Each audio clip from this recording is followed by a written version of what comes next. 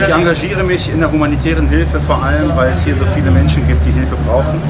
Ähm, ich komme selber, ich bin selber Flüchtlingskind, äh, bin aus dem Libanon in den 70er Jahren nach Deutschland geflogen, hatte das große Glück, in Deutschland unterzukommen und fühle mich mit diesen Menschen verbunden, die nach der äh, Wirtschaftskrise, der Finanzkrise, der politischen Krise, der Corona-Krise, der Flüchtlingskrise und dann noch die große Explosion von Beirut. Äh, die Zahl der armen Menschen in der Stadt hat stark zugenommen und wir haben die menschliche Verantwortung, all diesen Bedürftigen hier mit allem zu helfen, wo wir helfen können.